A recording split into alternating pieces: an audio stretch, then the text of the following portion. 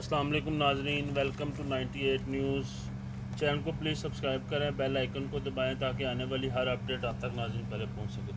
अच्छा नाजरीन, आज स्टार्ट करेंगे कुछ आर्मी चीफ साहब ने एक डायरेक्ट बयान दिया है। उसके बारे में मतलब क्लियर मैसेज चला गया आर्मी चीफ की तरफ़ से कि armed force is not allowed to any country force और एनी आर्मी टू मुल्क को अनस्टेबिलिटी करने के लिए मुल्क की जो इकोनॉमी को, उन्होंने डायरेक्ट उन्होंने मैसेज कर दिया ठीक है? और अब ये ट्विटर पे इस टाइम पी टी आई और पी एम एल एन की लड़ा, आपस में लड़ाई चल रही है इस बात के ऊपर, ठीक है? आपस में।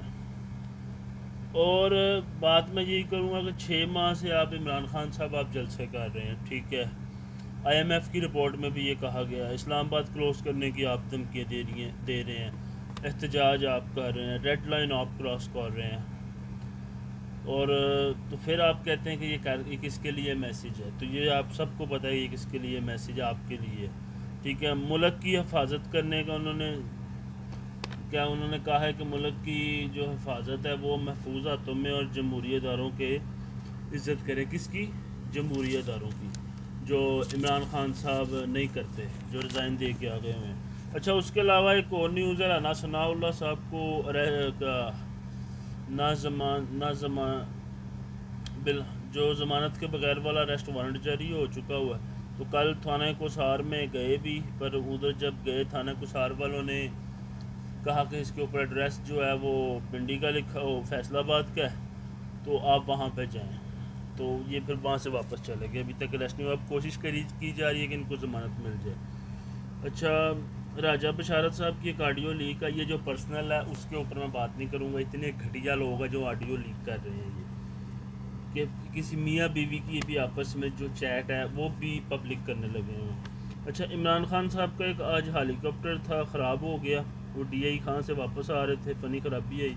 और खैरियत से वो लैंड हो गया एक अडियाला गाँव के अंदर। तो वहाँ पर उन्होंने लोगों से मुलाकातें की, उनसे मिसाइल वगैरह पूछे और वहाँ पे किसी ने उनको कहा, ये एन ए तिरसठ हल्का तो उन्होंने कहा, जो, गुलाम सरवर साहब का तो कहते अच्छा गुलाम सरवर का, जो पहले चो निसार का था, कहते हाँ जी। अच्छा इमरान खान से एक और ख़बर है। इमरान खान की ना एक ऑडियो आई थी। तो उसमें मैंने पहले भी अपने लास्ट वीडियोज़ में कहा था कि इसके और पार्ट्स आएँगे।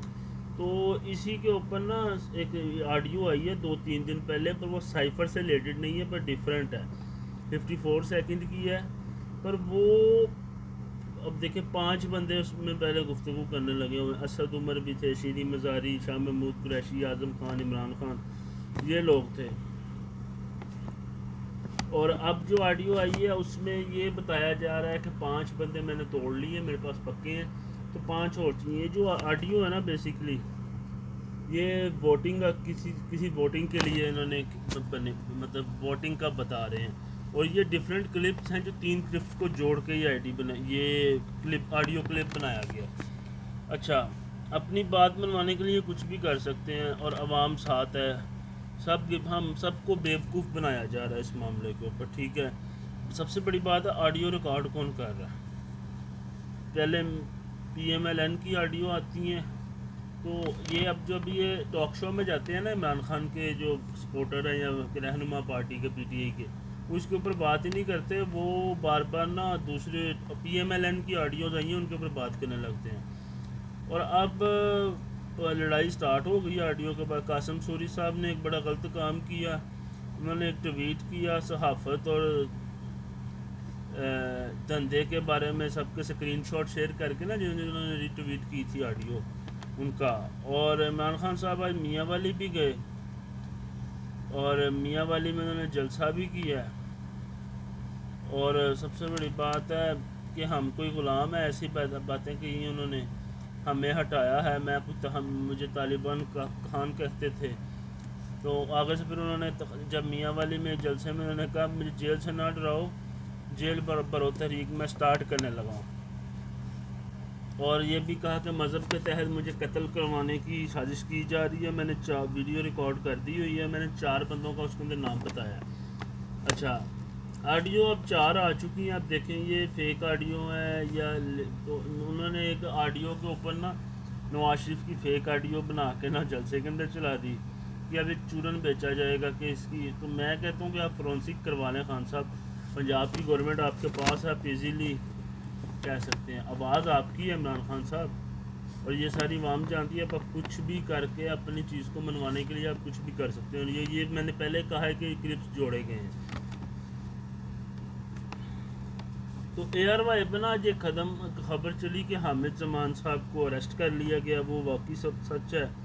अच्छा काशिफ अबासी साहब ने कहा है एक तरफ़ हुसैन शाह के तरफ़ हुसैन साहब के शो पे कि इमरान खान लॉन्ग मार्च नहीं करेगा और उन्होंने ये बात की उन्होंने उनको पता है कि अगर फेल हो गया तो उनकी सियासत ख़त्म हो जाएगी काशिफ अब्बासी साहब डॉन ने रिपोर्ट की है कि इमरान खान को नज़रबंद करने की तैयारी की जा रही है उनके बनी गाला में सराउंडिंग में वो लगा दी जाएगी कंटेनर्स उनको नज़रबंद। अगर वो पंजाब से आते हैं तो उनको रवात के पॉइंट पर रेस्ट कर लिया जाएगा और के पी के से आते हैं तो टनोली के मुकाम पर रेस्ट कर लिया जाएगा।